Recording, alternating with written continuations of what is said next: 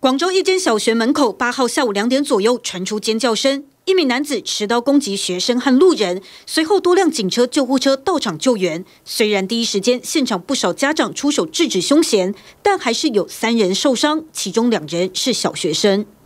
大批警力到场后压制凶嫌，将人带回调查。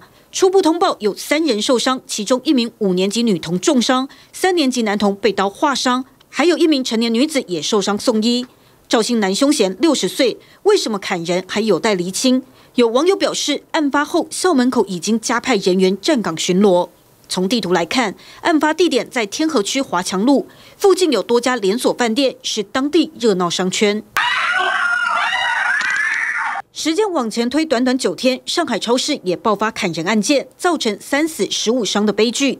九月十八号，深圳日侨学校一名十岁男童上学途中遭四十四岁男子持刀刺中腹部，隔日凌晨不治死亡。六月二十四号，苏州的日本学校也爆发袭击事件，一名大陆男子持刀攻击日籍母子，校车工作人员上前阻拦，惨死刀下。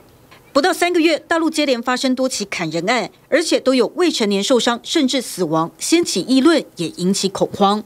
TVBS 新闻程序李敏珍综合报道。